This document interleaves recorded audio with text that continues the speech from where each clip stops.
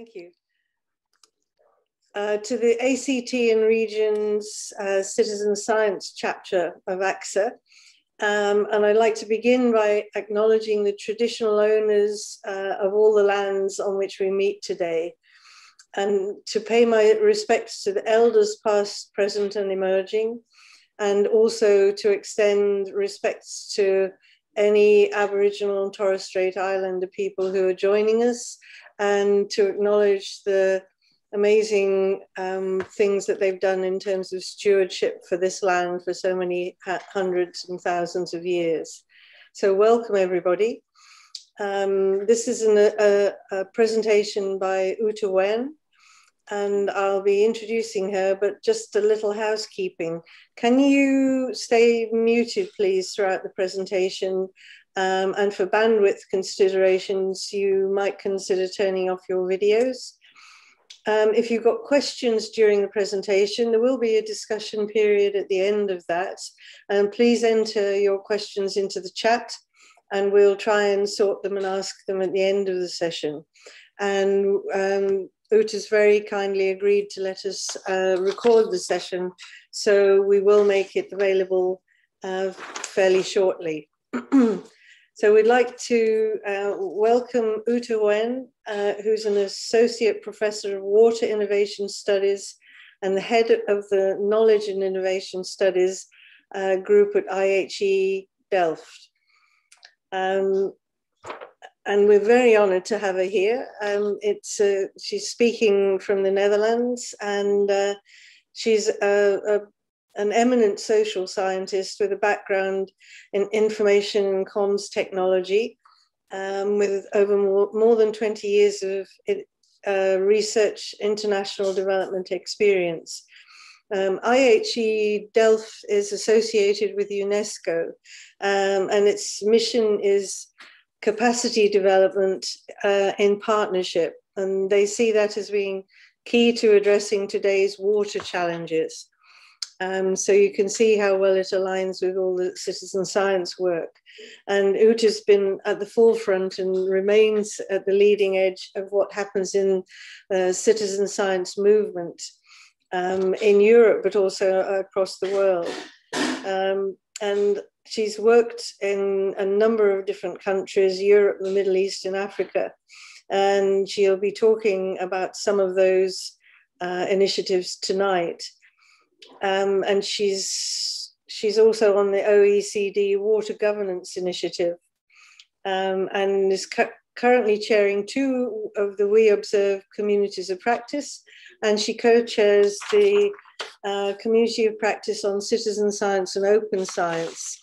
And I'm one of the other co-chairs, and I've worked with Uta on a number of initiatives over the years and feel extremely privileged um, to, to be working with her and it's really exciting to uh, to explore what we can do together. And tonight, um, Uta is going to be talking about WeObserve is an initiative um, under the uh, Horizon 2020, and it's it's not a primary project, but it's an, a really important project, because it's seen as a um, a coordination and support cutting across and supporting many of the citizen science initiatives and projects um, which are funded under Horizon 2020 in Europe. So it's a, a critical structural approach that we'll be talking about tonight. Um, and I think that's what's exciting to us here in Australia. Uh, it's an exploration of how we can do things together uh, as groups and communities. So without further ado, uh, Uta, can I pass over to you? And we look forward to, to listening to your presentation. Thank you very much for being with us. Thank you so much for your kind introduction, Libby. And uh, it's nice to meet you all. Uh, and indeed, Libby and I work together in the context of communities of practice. Um, and that's also the, the topic for tonight, um, where I'd like to share with you some of the work that we've been doing in the WeObserve project, where one of the foci was to see how we can really consolidate and share knowledge amongst this vast community of citizen science practitioners. So just a little bit of background about the WeObserve project. Indeed, it's uh, what we call a coordination and support action, and it brought together uh, already four projects that were running at the time that were setting up uh, what we call in Europe citizen observatories, which are a special form of citizen science projects with a very close link uh, to, to policy, trying to have policy impact, bringing in policymakers right from the start, and also a project that we had set up in the previous framework um, under the FP7, the WeSenseIt project. So already the consortium started off with a strong base of, of running projects at the time, um, but our remit was much broader.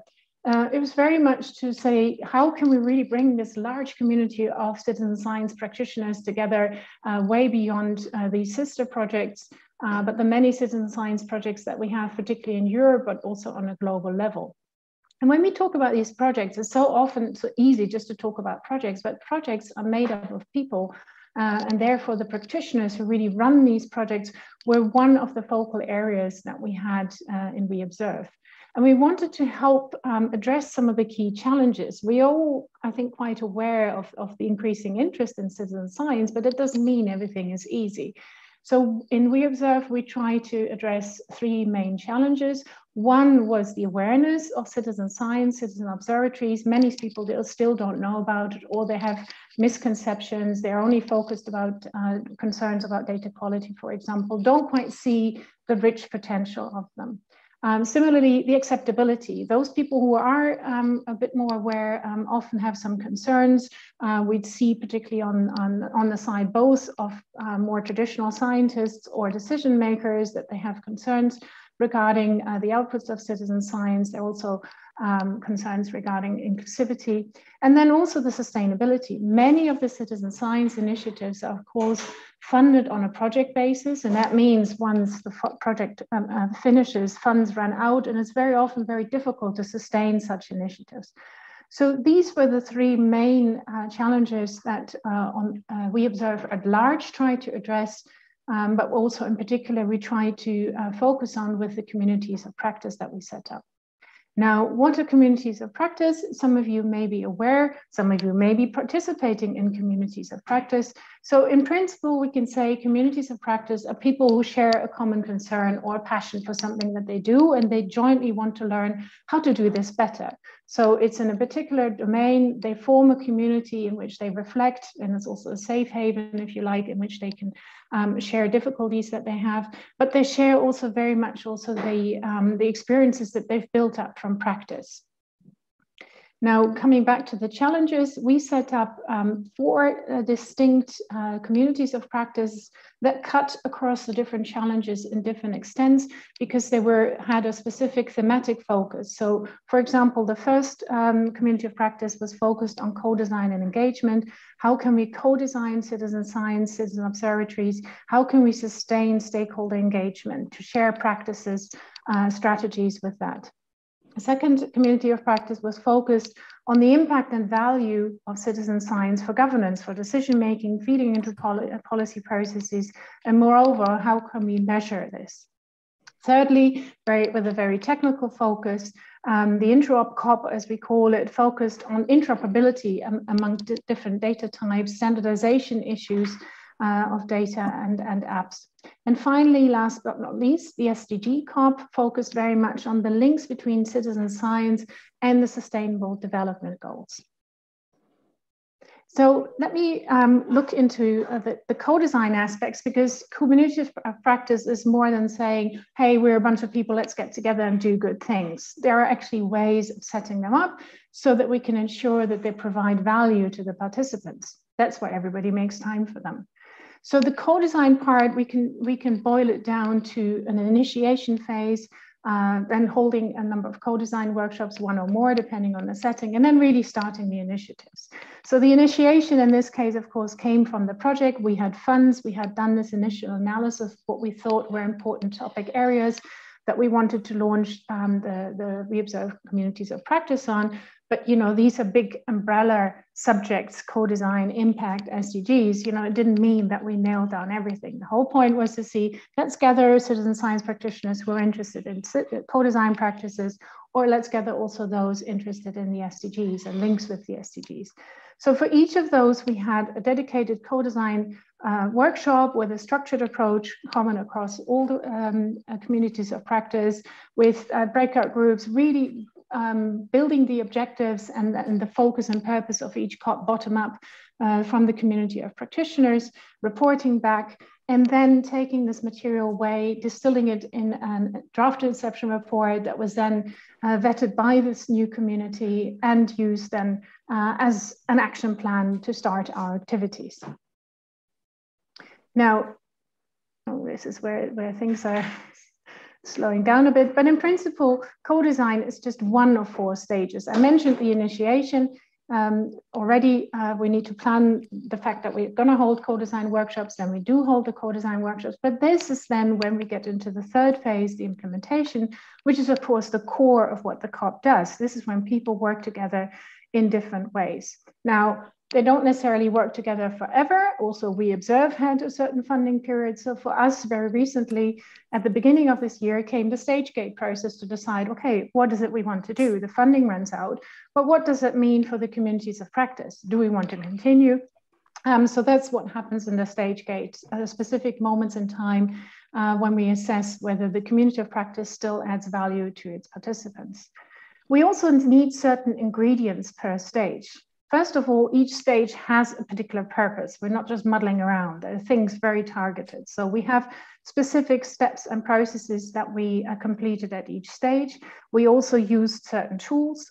Um, and we, of course, also needed some resources. Uh, as Libby also knows from the community of practice that we co-chair, quite a lot of effort is involved. Um, so there typically each community of practice has a co-chair, has some support staff to help with uh, activities. And finally, also the different stages have different forms of communication. For example, in the launch stage, we need to make the larger community aware that we're about to launch these communities of practice and invite people in.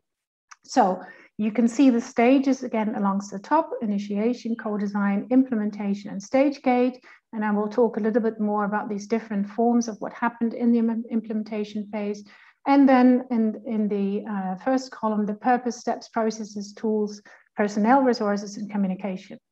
So this is what our model, our way to, um, to setting up and running WeObserve COPs actually looks like.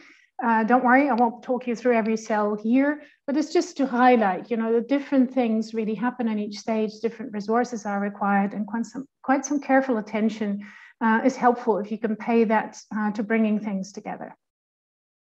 So what happened actually? We had these four communities of practice, we launched them, um, and three years later, um, we have uh, a quite a consolidated number of uh, members per COP. So we have uh, between a range of 120 to 150 members per COP, and in, in fact, including even uh, members uh, from, from ACSA itself. Um, and we also had uh, task forces for specific activities that are then much smaller um, constellations, uh, sometimes three, five, eight people working in, in such a task force. Um, we see a really good geographical spread, not only within Europe, but certainly uh, around the globe. Um, in terms of membership, yes, it is tilted a little bit uh, towards academia and, and research organizations, um, but we have really good representation of public sector organizations, particularly uh, agencies related to the SDG, formal monitoring SDG processes in the SDG COP, uh, UNESCO and some of the COPs, and um, also uh, some of some NGOs, as well as a very small number of private sector organizations. So that really is nice in that sense that it really brings together this very diverse community of citizen science practitioners, because it's not just scientists who we conceive as citizen science practitioners. Of course, there are many, uh, many different types of organizations these days engaging uh, in citizen science. But let me also uh, point out the sister COP uh, that uh, Libby had already mentioned, the Citizen Science and Open Science COP, which we are co-chairs together with Claudia Goebel. Uh, we launched this only last year in July, and we launched it online. So um, the, uh, the, WeObserve COPs. We had the luxury of still doing that in face-to-face -face workshops. when we set up this COP, we were, of course, all facing the COVID crisis around the world. So we launched it online in, in two different online workshops to make sure people had um, uh, suitable time zones. So they had a chance to, to attend one of the launch workshops. And we now have a strong member base with more than 150 members uh, from the, around the globe. But not only that, this particular COP has already provided really strong contributions to the process, which kickstarted uh, its birth, let's say, because the UNESCO process of setting up the um, recommendation of open science was going on and needed a counterpart to speak to the citizen science community. And as a response, we set up this citizen science and open science community, wrote a short paper, produced a formal statement from this community of practice on the first draft, and also participated as observer in the recent intergovernmental meetings. So it really shows nicely that bringing together these practitioners, of course, is useful for the practitioners themselves to join, jointly learn and, and um, exchange about practices, but it's also a really good way of feeding into important policy processes, such as the, the recommendation on open science. But, you know, at this stage, you may be wondering, this all sounds nice, but what do you guys actually do? So some of the activities are regular telcos. So we have rather um, uh, strict, not strict, but regular um, meetings every month. Uh, so we get together uh, in each of these communities of practice, um, have detailed discussions, have have um, a pre-agreed agenda, and often um, have have some of our own members as speakers uh, to spark the discussion. We also form task forces, as I mentioned, because sometimes we have to produce specific outputs, be it for a conference session, be it a paper, uh, or in the interop COP when they want to test um, uh, tools and approaches, they had an interoperability experiment. Joint networking, um, this is also, we've, we've seen, we've prepared jointly for a number of conferences. So different members get together, um, meet at the conferences, and that's of course all nice. And those were the days when we could do, do this face to face. Now we do it online. Um, but a big part of the activities is also outreach, giving presentations, such as this one, to other initiatives, other organizations, to institutions, um, and engaging with um, bodies such as GEO and standardization, standardization bodies such as the OGC. And the forums, I think, um, merit a little bit of special attention because this is something uh, on top of the regular meetings, which I think are fairly obvious for, for, for communities of practice or working groups or action groups, whatever we choose to call them. But the forums really um, were a, a, way in which we brought together the different COPs um, over a longer period of time, typically two to three days. Uh, again, you can see that initially we did this face to face, often back to back to an existing conference um, to, to uh, save resources. Uh, we also sponsored, we had some budgets so we could, we could fund uh, COP members to, to, to, um, to, to travel to these forums. And it really provided a fantastic opportunity for, for in-depth working, uh, deeper discussions on particular issues. And it also was a very nice cross-fertilization across the COPs because we always had some joint plenary sessions. And when we had the face-to-face -face meetings, of course, we also went out for beers and drinks. Now, what did it all deliver in terms of outputs? Um, the consolidation of knowledge, which you know, was an overarching uh, objective, uh, resulted in an online glossary of terms and de definitions. Um, we also produced uh, a number of scientific publications, two reports, uh, and uh, a number of joint conference sessions and presentations. Now, we also checked then towards the end of the last year to see, okay, how we're doing, where we're going to head when WeObserve finishes. So we had an evaluation that we actually co-designed with our COP members to make sure we would get it uh, reasonably right. And it's nice to notice here, um, what were some of the main expectations that our members had? And we see a strong focus uh, that people were really going to join the COPs in order to network, network with relevant practitioners or other networks. Um, they also really were keen to have access to new knowledge and tools, uh, methods relevant for them, and actually also help with how do I implement these in the citizen science projects that I'm involved in right now. And overall, uh, we then also polled uh, to what extent have their uh, expectations for participating in the COPs been met so far, uh, that we see uh, for, for all the COPs, we have quite a considerable percentage of people who were uh, happy to a large extent and also to, to a moderate extent. Um, so this is, this is also quite a positive feedback and resonance on the experience of actually participating in these communities of practice. I'd like to share with you some of the, the lessons learned now, because uh, you know having a nice scheme is, is great, but of course the devil is in the detail.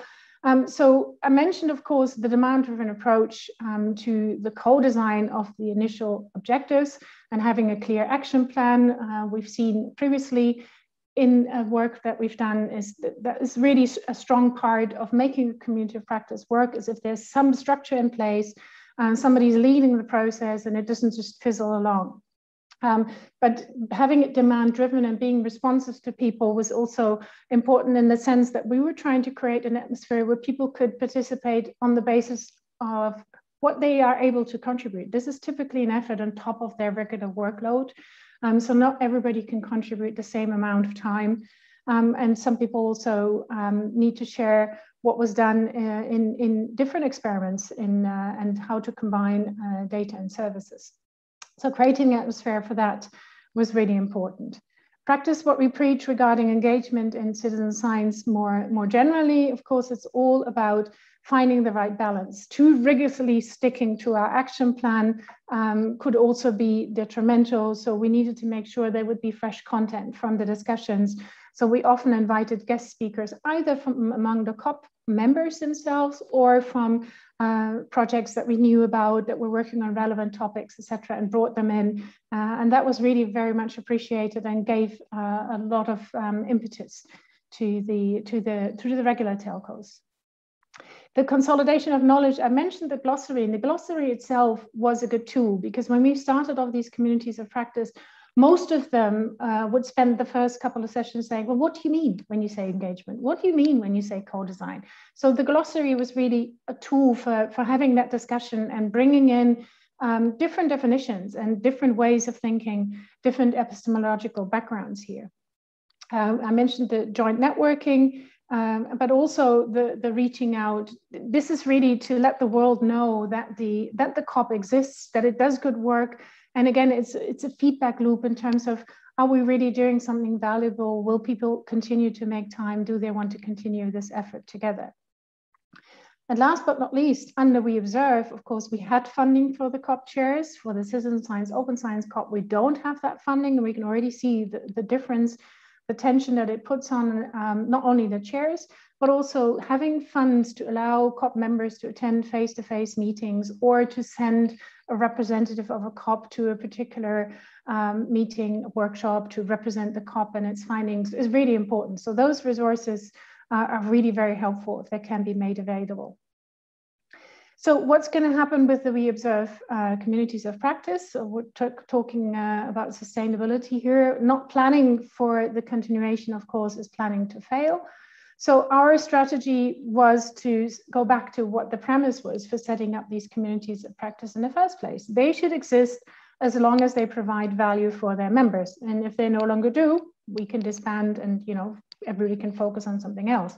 So it was really important to gauge that interest. We did it partly through the evaluation. We did it partly also through open discussions that we had, for example, at the, the latest uh, COPS forum, which we held online, uh, and generally, the, um, the uh, resonance was very positive. So for the time being, we're continuing, we, WeObserve uh, communities of practice. Um, some of them, like the, the Interop COP, um, has been linked to, to another project, the Cost for Clouds project, also funded under Horizon 2020. Uh, we may find a home and the GEO, etc. So the different communities of practice are also looking um, whether we're, we're, we're going to be connected to different initiatives. And we have also um, submitted proposals uh, for follow-up funding so that we can have a continuous base of these financial resources that I mentioned before. And for the outputs, um, uh, it's important to make sure that once the WeObserve website goes offline, which is still another three years down the line, but nevertheless, um, we have already established links to the EU citizen science um, platform, which is uh, has a much longer lifetime. And so some of our outputs can be created there. So let me finish off with some, some key messages. Um, practice what we preach. I think many of us are aware just how important it is to focus on the people in citizen science, and that's exactly the same in communities of practice. They are made up of people, they have different uh, incentives, uh, barriers, interests to participate. So let's make sure um, that we set up communities of practice that really suit not only their needs, but also their means of participation. Then also the, the WeObserve a community of practice, we see that they're really quite well established. They've become a reference point, uh, particularly the SDG COP uh, is mentioned uh, at high level uh, policy initiatives related to the SDGs. Um, and they're here to stay, as I said, for the time being. And also the Citizen Science and Open Science COP is here to stay. So please feel free to join uh, any one of those. I've included the links here in the presentation. I can share them later in the chat. And then finally, we are writing up this whole way of which in way in which we've done the, the WeObserve uh, approach to COPs, So how to COP, let's say the, the WeObserve way. So this is coming up shortly in a paper, and that paper is actually written jointly by the COP chairs uh, and several of the, the COP members. So also there we're practicing what we advise for, for citizen science in terms of co-designing initiatives. So thank you very much for your attention. And let me also finish by uh, acknowledging inputs I have achieved, uh, uh um, received from the other two COP chairs, Dilek Fraisl from IIASA, who chairs the SDG COP, and Dr. Joan Masó from CREAF, who chairs the Interop COP. Thank you very much.